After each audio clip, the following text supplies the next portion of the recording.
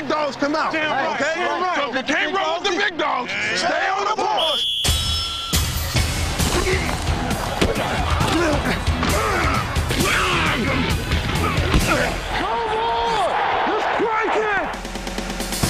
They come out and chew the tires off the bus on the way to the game. No one could handle him. And he'd be on you like your underwear. I've seen him pick tackles up and just throw them out of the way. Get his fingers in your eyes and claw you to death. And brother, he could tag. When you get a really good lick on a guy, you gotta give it. He's gonna wear your ass out. He literally should have been thrown out of every ball game he ever played in. And if he bit him, or punched him in the groin, or pushed their face in the mud, fine. Now, when that happens, then you must serve justice. You think you're tough? I'll whip your ass. It's combat, and you have to know that you're going to be subjected to pain or to suffering. I want to prove that you could come back, and I had one of the worst knee injuries ever.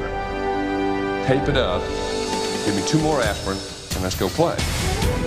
You got to feel like you're the best son of bitches out there.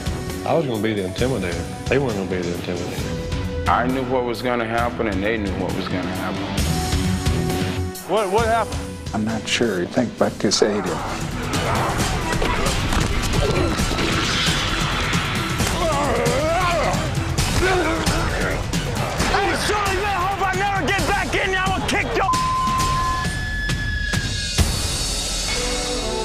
How much you want it, not so much how tall you are or how heavy you are. Never missed a practice, never missed a game. He was as tough as nails, loved the game. He could have played in the 40s, the 50s, or the 90s. He does not understand the concept of giving up and the concept of defeat. And anybody who tells me that they go out there to have fun playing football, they're a liar. This game is a war. I was not taking any prisoners, and the wounded would be shot. That'll cool your ass off. You can tell who the true warrior is on game day by his game face. It reveals everything, or sometimes nothing at all. I tell you, he's a stone face, that Bavaro now. You know what the hell he's thinking. I'd hate to have to fight that son of a gun. Against the Giants' Mark Bavaro, the fights were one-sided. They called him Rambo, and for good reason. He played with abandon, yet with a finely tuned focus, qualities possessed by only the toughest of tight ends. Men like Jackie Smith, who took being tackled personally. That's the way the game is played. It's a game of intimidation. I was going to be the intimidator. They weren't going to be the intimidator. I just felt like I shouldn't be tackled. You know, I, I, there's just no way I should be tackled. If I did, it was my fault. And when I threw that on top of really being up for a game, I went nuts sometimes, you know. One of the toughest of them all played with a barely controlled fury, a crew cut, and a short fuse. Mike Ditka, the first tight end inducted into the Hall of Fame.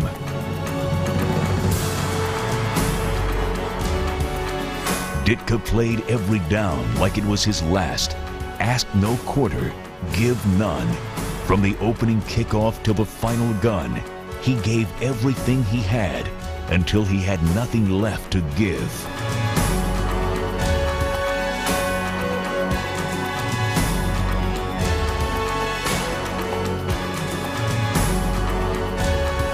Iron Mike had an iron will, as did the Colts' John Mackey.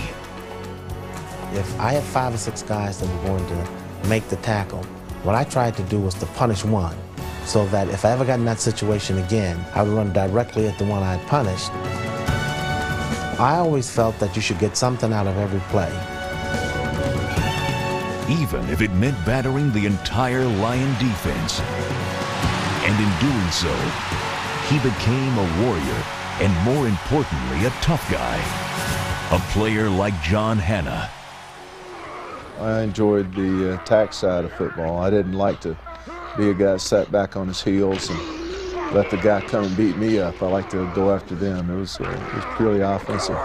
The attack side was the dominant side. Watch the stunts, watch the stunts. The side that had Gene Upshaw. For 16 years, Upshaw uprooted, upended, and upsided the head. The upside, moving the chains. You okay, Pitts? The downside, waiting till the following Sunday to do it again. You get out there on that little old sucker, he don't know what to do. Pitts, I hit him with a forearm while ago, so he's out. He's not on his feet. Oh, yeah. John Henry Johnson was as tough a defensive back as he was a runner. He broke Les Richter's jaw and nearly ended Charlie Trippi's career. He forearmed tacklers well into his 30s, and every time he did so, he punctuated it with the phrase, How sweet it is. John Henry peaked in 1962, finishing second in the league in rushing behind Green Bay's Jim Taylor. Taylor was the only man to outrush Jim Brown in a season, and he did so one tough yard at a time. I just tried to play to my maximum ability, and I, I, played very, very aggressive, and I played within the bounds of the rules of the game. And then when anybody tackled him, it was an insult. And if he bit them, or punched them in the groin, or pushed their face in the mud, fine. Every time Earl Campbell took a handoff, two questions came to mind. First, how can a man so huge be so fast? And second, does that guy in his path want to finish the season? I knew what was going to happen, and they knew what was going to happen. And they knew that if it wasn't like six of them, or four or five maybe, he's going to go because he ain't going to quit. Kind of girlish for one guy to tackle me. I mean, I wanted to have a bunch of them. Once in a while, one man can hit like a bunch of them. But then again, a Randy White only comes along once in a while. They called him Manster, half man, half monster, and all pro. He was never out of a play, chasing down receivers 50 yards downfield.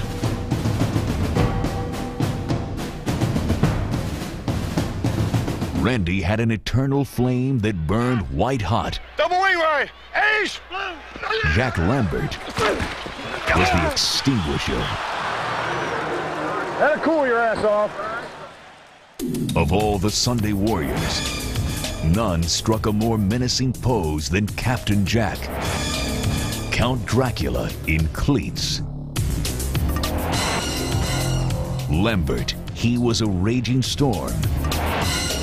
An evil sorcerer who demanded that his apprentices be just as tough as he was. Jack Lambert played hard and expected his teammates to play hard as well. In a couple of games where we weren't being aggressive, he had no problem talking to me or Joe Greene or the defensive line or whatever. I mean, that's the way he was, and, uh, and I think we all, we all respect him for that. Professional football is not a popularity contest. The ultimate compliment is that your opponents respect you. Joe DeLamielleure, when he was playing for the Browns, said everybody on this team hates Lambert's guts, but we all wish he was on our team. To me, that's what it's all about. This is the meanest looking person I have ever seen. Ray Nitschke flew over the cuckoo's nest, then flew to the ball. I lined up under the center, and the first guy I look at is Nitschke, and he's foaming at the mouth out there, and he's panting, moving back, and I said, this is the ugliest, meanest looking person I have ever seen. Ray Nitschke had a menacing, um, terrifying presence on the field. Just his demeanor, the way he carried himself, but most of all, the collisions he caused. It wasn't a Jekyll Hyde presence, it was just Hyde. Uh, it was just total absence of any concern or compassion for another human being.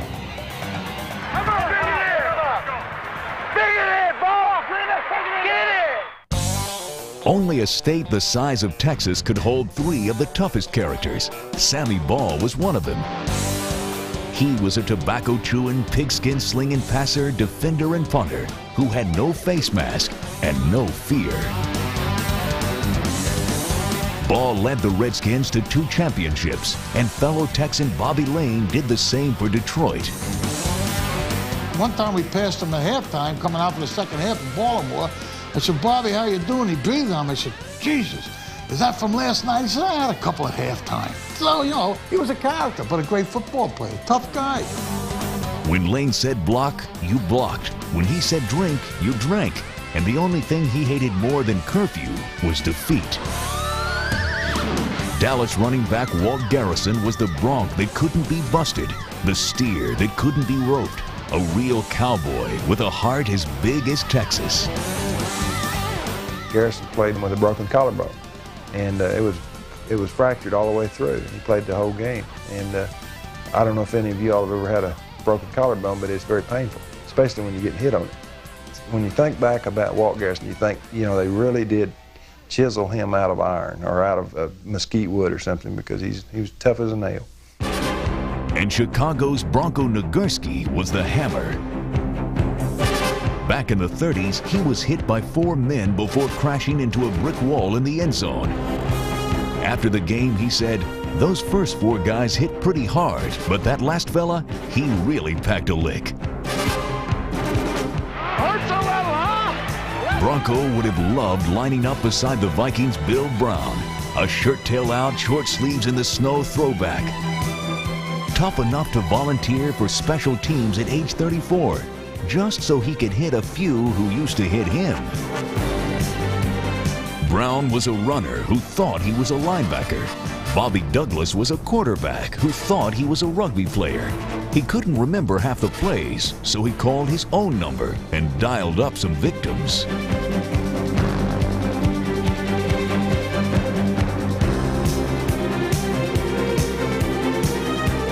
He led the league in scrums, lost mouthpieces, and flying helmets.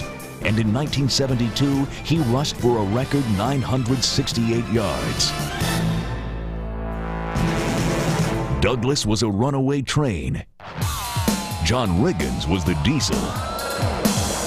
Riggo sported a mohawk and later an afro, but underneath, he was a character with character. He may have been a flake, but on Sundays, he always ate his Wheaties. There's the snap, hand to Riggins. Good hold. He's got the first down to the 40. He's gone. He's gone. He's gone. Touchdown, Washington Redskins. If they were going to remember me by anything, I would like them to think that I always came to play on Sunday. Now, I might do some goofy things during the week, but when Sunday rolls around and whistle, ref blows a whistle, you can bet that I'll be playing. And you could bet that the Chiefs' Christian Okoye would be ready too. Touchdown, Okoye. Boy, he is too big and too fast to be playing running back in the NFL. He was the Nigerian nightmare, and he rocked many a defender into dreamland.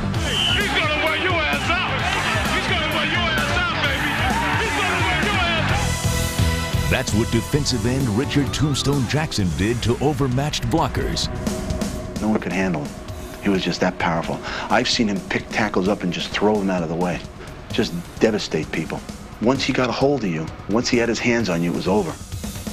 I would imagine being on a Sam Ball Club, watching me do things that was somewhat extraordinary would strike fear in someone.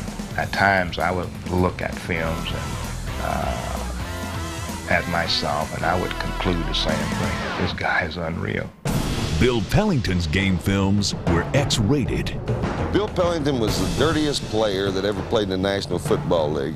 I couldn't even say that Bill was a good friend of mine because I was scared to death of him. And he always had this helmet that cut him right here. I don't know why he didn't get a new fitting for the helmet, but it, blood would run down and he had this hawk nose and these steel blue eyes that sit back in his head. And uh, But he literally should have been thrown out of every ball game he ever played in and most of the practices that we had. I mean, he didn't have any friends at either side.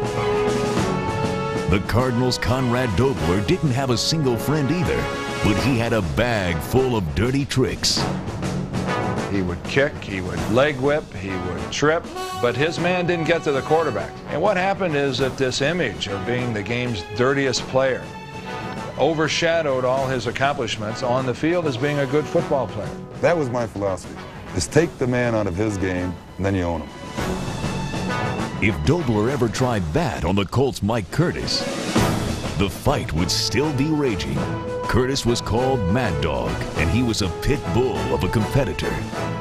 Never has a man been unhappier the day of a game, and uh, he would just get beside himself. He hated uh, the Doris Day, uh, the American flag, black and white saddle Oxfords, his own teammates. He had the disposition of a Highland moccasin.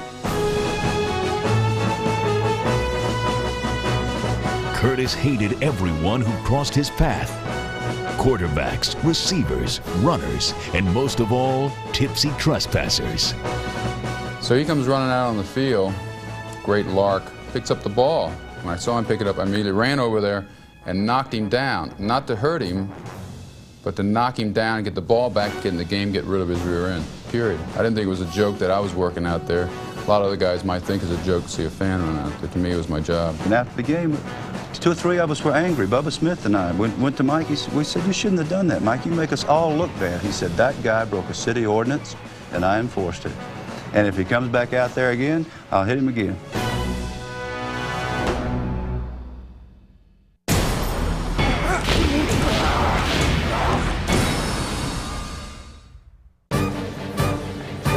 Sometimes in the NFL, the scales of toughness are tipped by sheer size.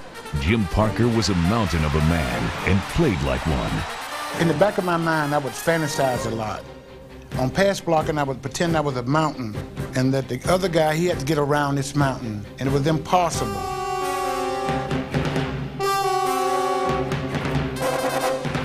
Sometimes I would pretend I was a freight train running over a pedestrian and just psych myself up before every play. Getting psyched up was never an issue for Big Bob Brown. His playing mood was constant, constantly foul.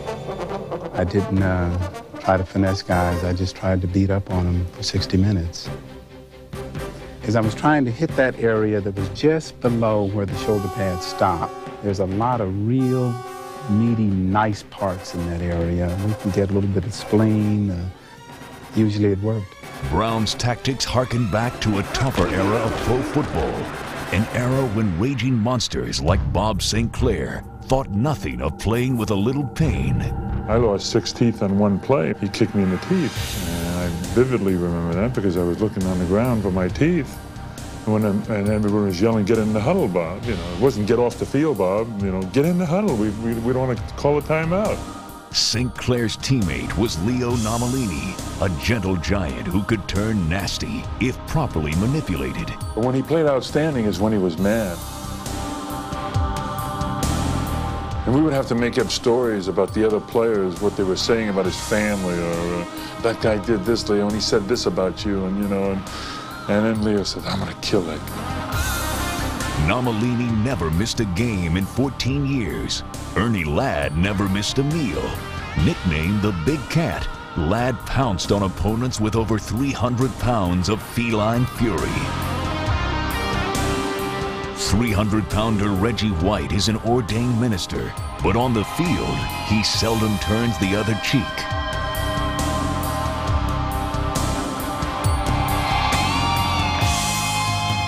His size and determination have helped him become the NFL's all-time sack leader, and that's no small feat. Standing out as a tough guy in the NFL is a tall order, one for which towering Ted Hendricks was ideally suited. Nicknamed the Stork, he used his enormous wingspan to fend off blockers and engulf his prey. But Hendricks wasn't the first skyscraping lineman to strike fear into opponents. The menacing presence of 6'8 Doug Atkins once caused Green Bay lineman Bob Skoronski to issue the following warning to a young Packer rookie. He said, look, here's some things I want you to remember. Number 81 is Doug Atkins. He said, uh, don't cut him. And if he falls down, you help him up and say, nice play, Mr. Atkins. Well, I started to laugh. And Skoronski said, kid, this is not a joke. If you cut him on his knees, the first thing he's going to do is kill you, and then he's going to kill me. But the big guys aren't always the toughest. It's really all inside. It's how much you want it. If you're scared to be out there with those big guys, you're in the wrong business because they're, it's, a, it's a blast to be out there amongst them. And you really to go out there and beat their ass is really what it's all about. If you can go down there and hit somebody hard, whack, that makes a statement. Tiny Terror Steve Tasker punctuates his statements with every ounce of his 180-pound body. At 57165, the statement that best applies to Pat Fisher is the old adage, it's not the size of the dog in the fight, it's the size of the fight in the dog. Most important is to avoid the fear. Once you win that war, that's the mental thing, that it's not going to hurt. And, and that big guy, you can win the war. It's kind of exciting to do it. If pain isn't going to be a part of it, only embarrassment is left if I fail to, to make the contact and get him down. You have to be a hitter. You have to run through people. But running through people isn't strictly the domain of the defense. 180-pound James Brooks was a pint-sized powerhouse. And while he may have had to look up at his opponents, he never backed down. Back at the 50 to the 45, down to the 40 on the far side of the field. He's going to be running. No, he's still 20, 15. 10, 5-yard line, still on his feet, plunging, plunging, plunging, touchdown. Oh, James Brooks just absolutely refused to go down. Linebacker Sam Mills refused to give up, even when he was told at his first training camp that he was too short to play in the NFL. It's really all inside. It's how much you want it, not so much how tall you are or how heavy you are.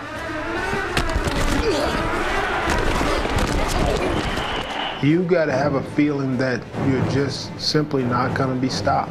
The last player to play without a face mask, reckless runt Tommy McDonald wasn't intimidated by opponents, tables, or fear of injury. I actually got hit one time and uh, I separated my shoulder and I even got up with that separated shoulder and went back to the huddle and stayed in for two plays and then I went out after the two plays because I didn't want them to know that they hurt me. With my size and everything, I know the only reason that I was able to make professional football is because I just, baby, I, I've got a heart as big as a wash tub. I don't even know the word quit. It's not in my dictionary. I wanted to give it a shot. I never had to look back and say I didn't try. Toughness is displayed in many ways, but the ultimate test is playing with pain. Bengal tight end Pat McInally was put to that test in 1980 when he was knocked out cold.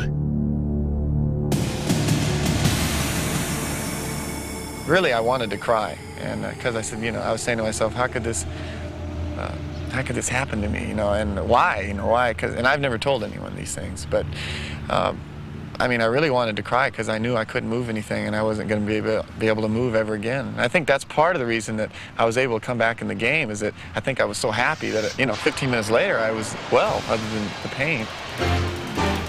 McInally endured and prevailed with three second-half catches and a touchdown. In 1965, Baltimore's Jimmy Orr dislocated his shoulder, then left the hospital to return in the second half and catch the game winner down in Orrsville. Perhaps he was inspired by teammate Gino Marchetti. In the 1958 championship game, Marchetti broke his leg, but he refused to leave the field until victory was assured. While Marchetti demanded to remain on the sideline, Jack Youngblood insisted on staying in the game after breaking his leg in a 1979 playoff game against Dallas. I said, tape the thing up, and we'll worry about it when the game's over. Win, lose, or draw, then that's the time to worry about it. You can't worry about it now. I can still walk on it and still run. Tape it up, give me two more aspirin, and let's go play. Youngblood played heroically in the NFC Championship and in Super Bowl 14 when chief quarterback Steve DeBerg smashed his finger, he too stood tall. Despite a pin in his finger and a sharp pain with each snap slapping against it, DeBerg hung in and kept firing.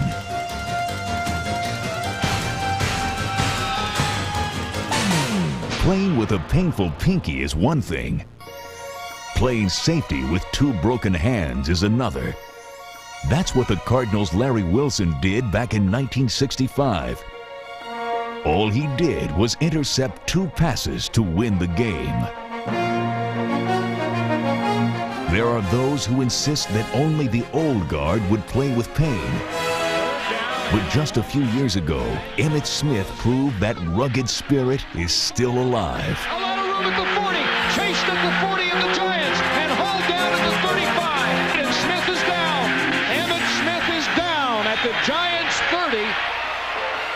Instead of using his separated shoulder as an excuse to quit, he used it to blast through the Giants. With home field for the playoffs at stake, Emmitt Smith showed he had the heart of a champion.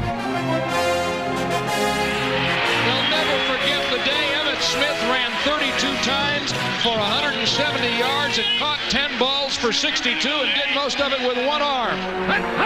In 1966, Cowboy quarterback Don Meredith turned in a performance for the ages. He was battered and suffered a punctured lung, yet he played on. One of his ribs broke, punctured a lung, and I remember coming back towards the huddle, and he's just lying down there, and I said, Don, Jesus, you know, somebody is calling somebody to come carry him off the field. And he just looked up at me and said, just get me to my feet.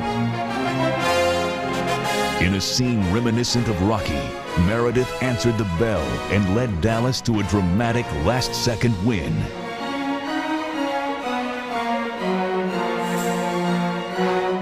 No one could match Meredith's single game toughness. But three years later, in 1969, Gale Sayers faced an entire season on the brink. I wanted to prove that one could come back from a serious knee injury within a year. They say so many times, well, it takes two years, it takes three years to come back. I want to prove that you could come back, and uh, as I said, I had one of the worst knee injuries ever. The Comet never shone brighter. Over a thousand yards and a rushing title on a knee ripped to shreds. Then there were the true Iron Men. Men like Mel Hein, a two-way star for 15 years. Raider Jim Otto, playing hurt in 210 straight games. Green Bay's Jerry Kramer, 23 operations, 500 stitches, leading the way anyway. Jackie Slater, protecting 23 different quarterbacks for 20 seasons, and fellow Ram Merlin Olsen, a team record 915 tackles in 15 campaigns.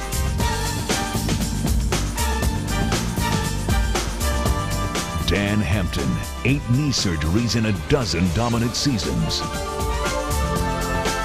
Jim Marshall, an NFL record 282 straight games, and the ultimate in longevity, George Blanda, a fighter in four decades.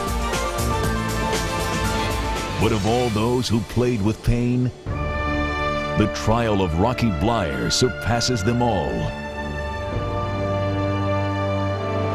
Vietnam, 1969. Bleier is wounded by a grenade. Shrapnel rips through his right leg and foot. So I said, well, Doc, I mean, my biggest concern is that I'd like to get back and play. And he said, uh, at this time, what's your prognosis? He said, well, all honesty, Rock, uh, seeing the damage that has been done, he said, uh, the ability to run is, is gone. I mean, you will not play professional football again. He spent months with a limp and a cane, and after two surgeries, the Steelers reluctantly released him. I was crushed. I remember leaving practice. I was driving up to, to Green Tree where I had a, an apartment. I mean, tears were coming down my eyes. My world had just caved in. I, I didn't feel like there was no hope left. And it was something I couldn't control. But Bleier was a rock, and after one more surgery and endless rehab, he was a starter, and his moment was finally at hand.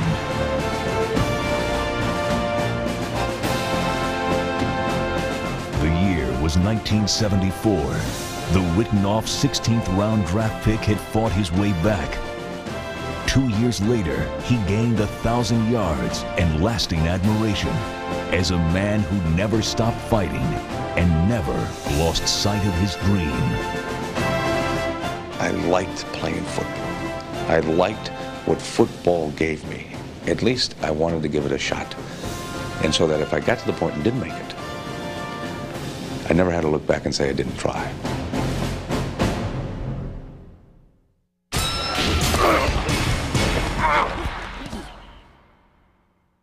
Ed Sprinkle was a 190 pound rattlesnake. Small guy, 205 pounds, tough guy, he hit you when you weren't looking. I'd hit anybody on any play as hard as I could hit them, and that's the way I played. In the 1940s and 50s, no defensive lineman was more feared than the Chicago Bears' Ed Sprinkle, nicknamed the Claw because of his habit of using one hand to separate a quarterback from his helmet. Sprinkle was the original monster of the Midway, playing with a ferocity that would make even Dick Night Train Lane proud. Oh, he'd kill you. He'd kill you. He wouldn't tackle you necessarily fair. It wouldn't be a fair tackle.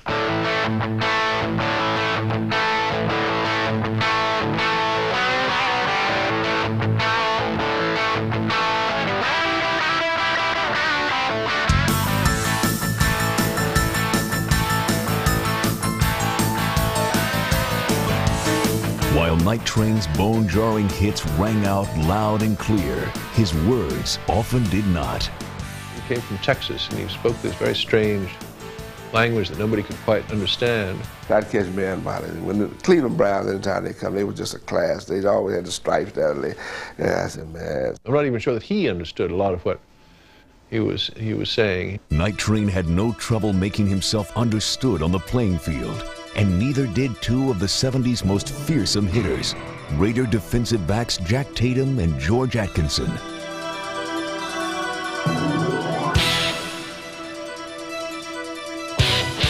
Jack Tatum's hit on Sammy White in Super Bowl 11 stands as one of the hardest hits in Super Bowl and football history.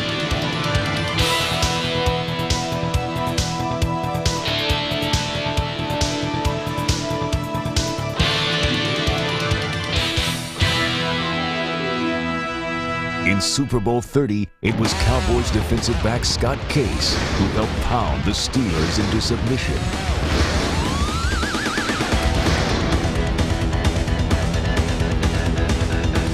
But two decades earlier, it was Steel Curtain stalwart Mel Blount who helped Pittsburgh defeat Dallas in Super Bowls 10 and 13 on their way to four Super Bowl titles.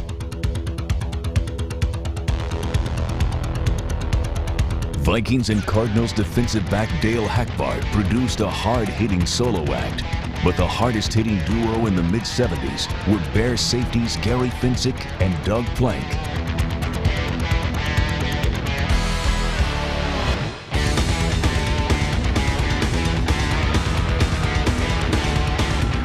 No team dominated the 60s like the Green Bay Packers, and no Packer defender disrupted offenses like Herb Adderley. Who is the hardest hitting safety in the last decade? The list begins and ends with Steve Atwater.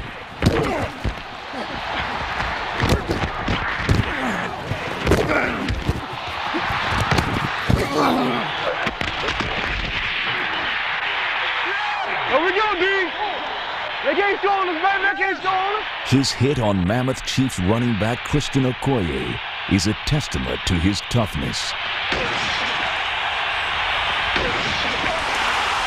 In Denver, the roar of the crowd makes his gladiators' blood boil. For to the hitters go the spoils. Just suck it up and go get it done.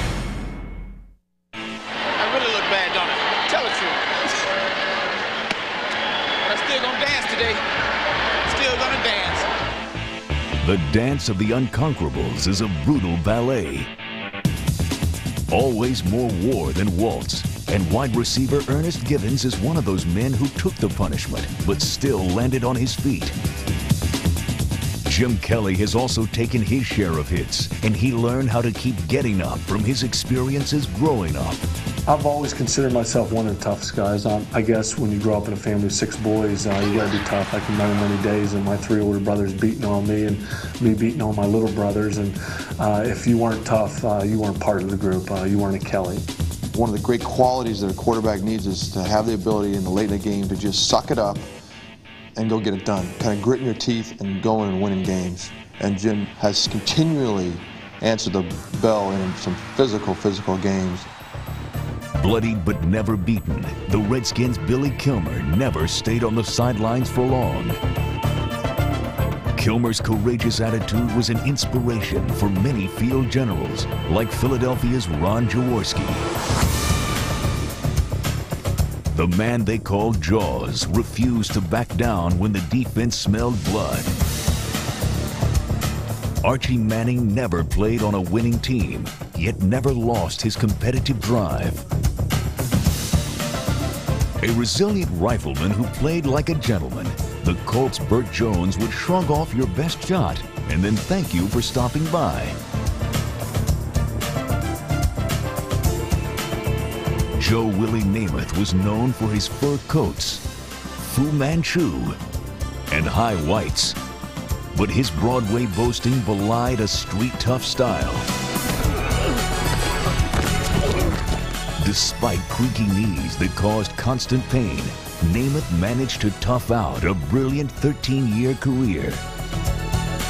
Joe Kapp was a quarterback on the field, but a linebacker at heart. And on his expeditions upfield, it was hard to distinguish the hunter from the hunted. All right, he's down! So to stick it in! But for all the players who endured the tough hits, it was up to Steve Largent to exact revenge. In the opening game of the 1988 season, the Seahawks Hall of Famer was knocked unconscious by the Broncos' Mike Harden. But later that year, when Harden intercepted a pass, Largent struck a blow for every offensive player who was mad as hell and wouldn't take it anymore. Out to the 20. He's on his feet. The ball gets loose. The Seahawks may get it back. I mean, Largent just unloaded on Mike Harden. Holy smoke, what a play. Steve will want to put that over his mantle, right on the oh, fireplace. That's better than any touchdown catch he's ever made, right there. I don't particularly think there's a person on this earth that can kick my ass. Growing up in the city and going through some of the things I'd been in, uh, you know, being in jail and, and, and getting to street fights, a lot of street fights, I learned a lot of things. I don't like people I play against. I don't enjoy what they try and do to me. They're trying to take away what's mine. I'm the type of player who is more or less a Rocky Marciano type player. I don't finesse people very much. I beat on them until I can wear them down. I never thought that I was the greatest athlete in the world, and I still don't, but I consider myself very nasty. I have this anger in me.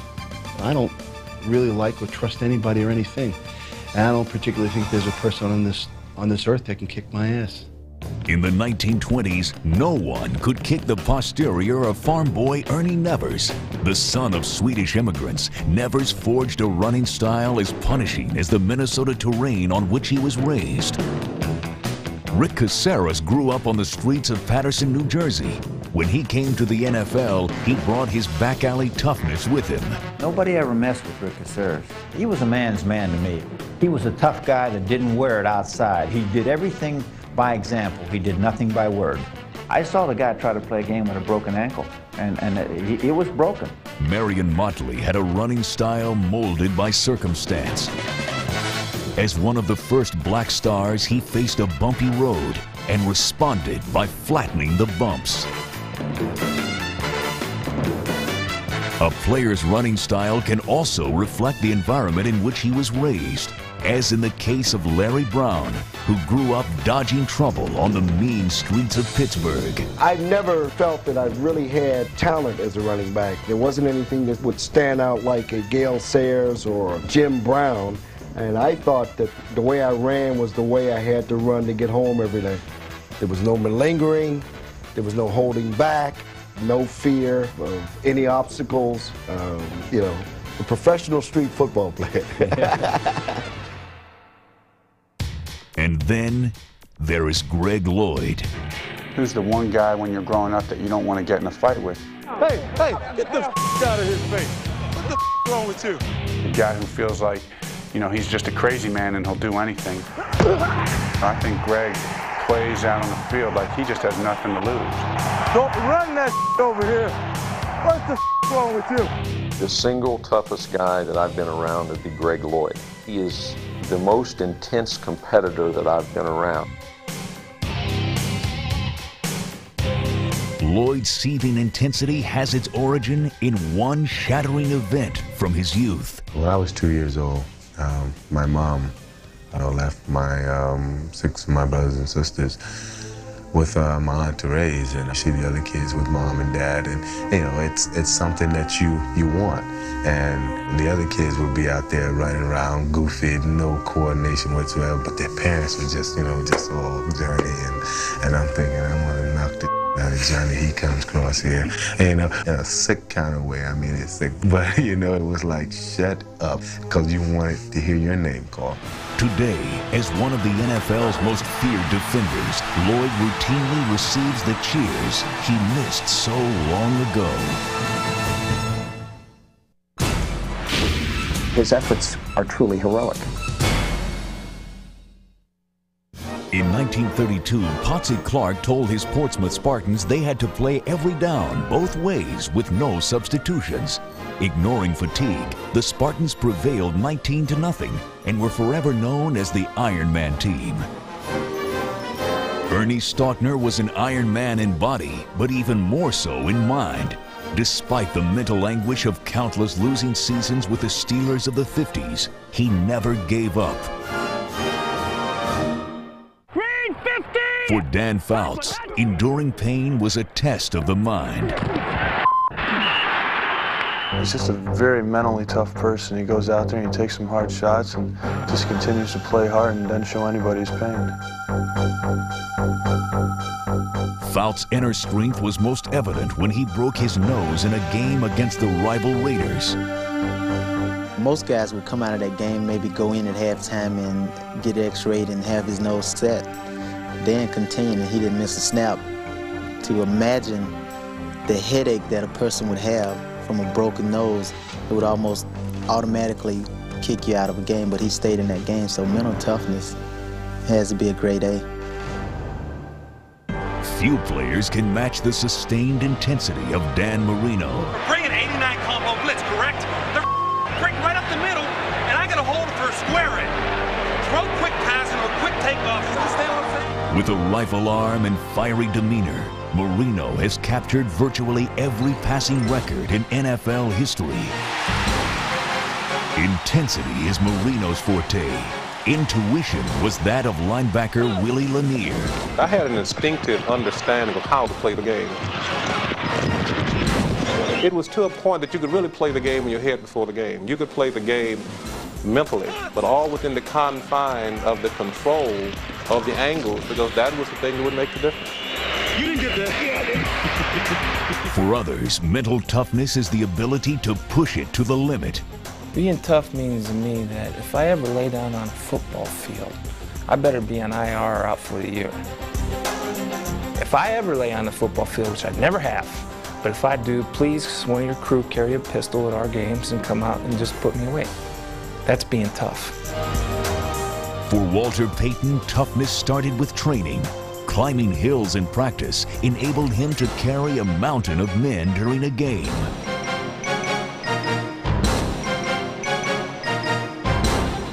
In 13 seasons, Payton missed only one game.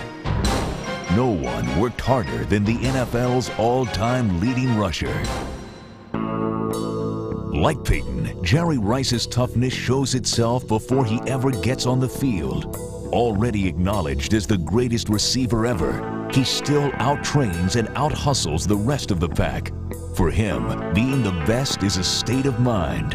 Whenever the ball is up in the air, I believe the ball belongs to me. And that's the attitude that you have to have. I think if you're going to be the best receiver to ever play the game, you're going to have to uh, be able to uh, take on the pressure of uh, making the big plays. And it all begins in practice.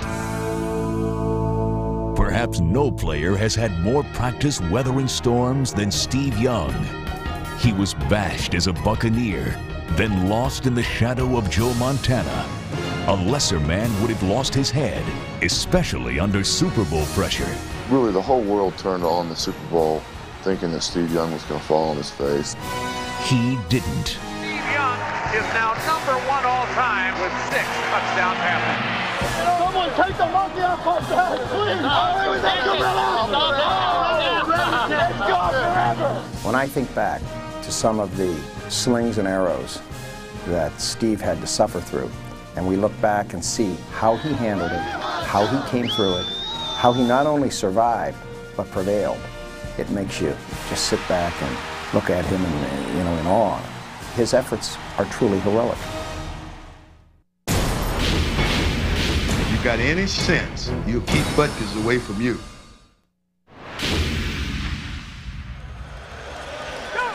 Dolphin fullback Larry Csonka was as smart as he was tough.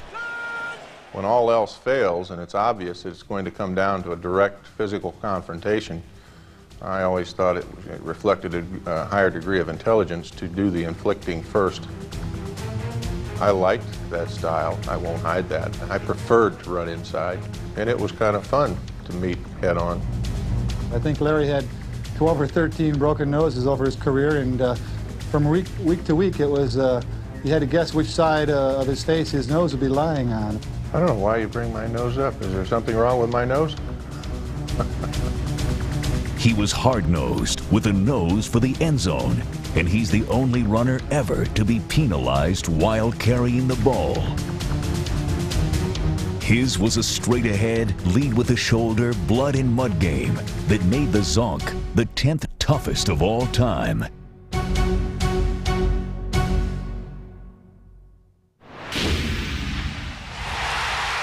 For Ronnie Lott, football was the ultimate test of dedication and will. Some people play with heart, some people don't play with heart. You have to find a way to, to give a little bit of yourself, whether it's giving yourself up, running into somebody that's much bigger than you, or it's, you know, doing something to sacrifice yourself for the team. I think the way you measure it is respect. I've always said this and I've always believed in this, that when you walk off that football field, does your opponent respect you?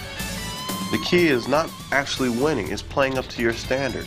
10 years from now, the most important thing that you'll remember is that when you see some of these people that are in your life, they will respect you for what you did on the football field. Bottom line.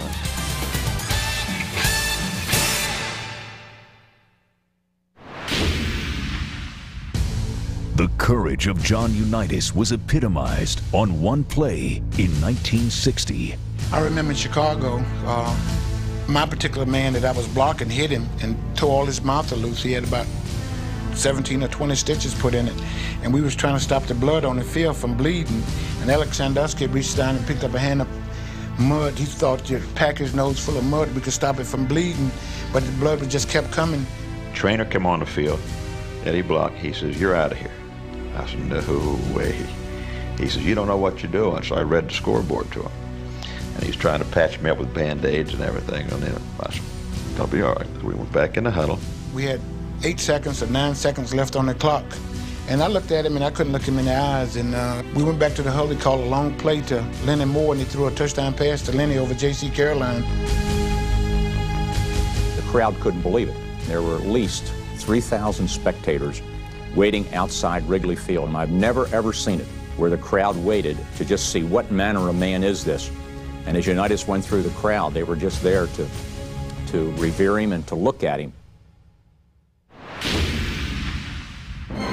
The Sunday sermon of the deacon was full of fire and brimstone. I wanted to put as much fear into his heart and as much pain on his back as I possibly could. You got this 260 pounds up to 4.5, and, and you got an angle on him, he should go to the hospital. And that's exactly what I tried to do. No remorse in my heart. I try to put him in the hospital every time I tackle him. I wanted to hit, when I hit, and, and put my back into it, you know, boom. I mean, that's going to provide that shot that's going to put the intimidating fear of God into that running back. So each time he came over there, I tried to tear his damn head off. He invented the head slap and coined the term quarterback sack. Sacking the cornerback is just like um, like you like you devastate a city or you cream or you cream a multitude of people. I mean, it's just like like you put all the off- offensive players in one bag and I just take a baseball bat and beat on the bag. With that approach to the game, I walked out totally unmarked. I have no scratches, no marks, and nothing but a bleeding heart.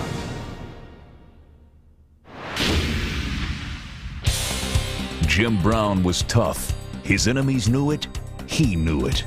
I realized I was a marked man. It works two ways. They're going to try to get me, but they're also in awe of me to a certain extent. So what I would do is I would walk up and down in front of their bench or do my exercise in front of their bench and let them get a good look at me. Without question, the most impressive player I've seen was Jim Brown. Just such a durable, fast, powerful, impressive human being, intimidating in his presence almost. Uh, by the way he walked back to the huddle after you'd swear he'd never get up, and he looked like he would never be able to carry the ball again. He was just so deliberate and so slow, and the next play he'd go for a touchdown, bouncing off five people. I played nine seasons. I never missed a game, and I never laid out on the football field.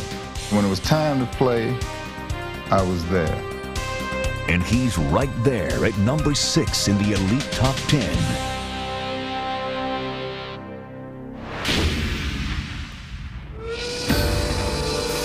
The toughness of pro football's Iron Man was forged in the steel mills of Pennsylvania and hardened in the belly of a World War II bomber. His name was Chuck Bednarik, center and linebacker, the last man to play both ways. When he went both ways against us, that bothered me a great deal. If he's going both ways and I've got my guys are going one way each, somebody's got to handle him. And he was he was dominating us. I truly believed he'd be happy if he'd be confronted that way for every week of his life, where he had the odds two to one against him. Against Allie Sherman's Giants, Frank Gifford met Chuck Bednarik.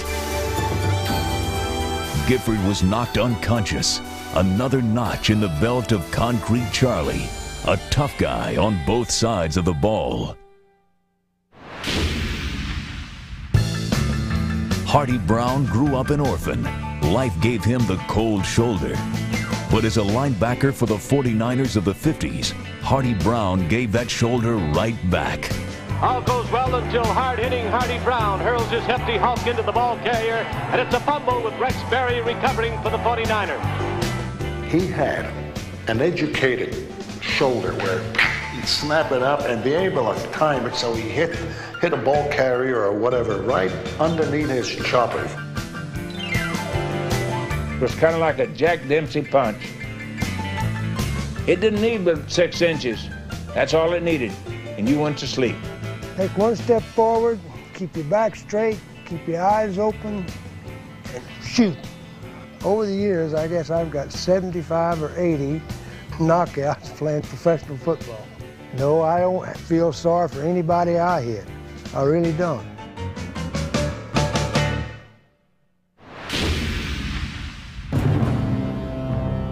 Mean Joe Greene didn't become mean. He was mean from the start. He was an extraordinarily emotional person his first few years. As a rookie, for example, he led the league in, in, in fights and getting thrown out of games. I've never seen a player as a rookie be that dominant and that aggressive and that sure of himself to, to threaten veteran players and abuse veteran players. I went from Joe Who to Mean Joe. If I wasn't out of control, it would resemble being out of control. And it was my desire to win. At first, he pounded passers and plundered the pocket. Later, he swallowed up ball carriers as the game's premier run stuffer. And in the end, Joe Greene was a winner, a four-time Super Bowl champion, the immovable I-beam in the steel curtain.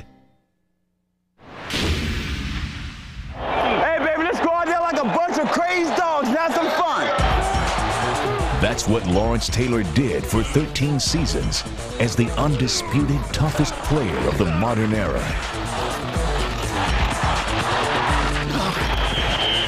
Son, I gotta do better than this.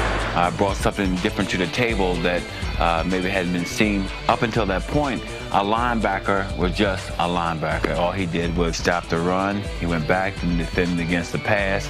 I made so many mistakes in the pass defense. I was supposed to be dropping on this play so I wouldn't drop or I'd rush. And that was my answer to everything. If you don't know what you're doing, just rush the quarterback, hell, until it happens. What happened was a reckless assault never seen before or since. He reinvented the position. He changed the game. He ripped through the meadows like a twisting tornado, destroying anyone in his path until nothing remained except LT and a legacy of toughness surpassed by only one man. Go, Andy. He spit, cursed, kicked, bit, and punched. Stack pow. Watch the That's what. Dick. Butkus did in his own huddle. His enemies fared even worse. I call him a maniac, a stone maniac. I, I, I don't understand it. I don't understand why they say things like that. He was the greatest intimidator that ever played football. You had to overcome the mystique. It was almost like an odor. He exuded a kind of a presence. Roses are red and violets are blue. If you got any sense, you'll keep Butkus away from you. He was an animal, and every time he hit you, he tried to put you in the cemetery, not the hospital.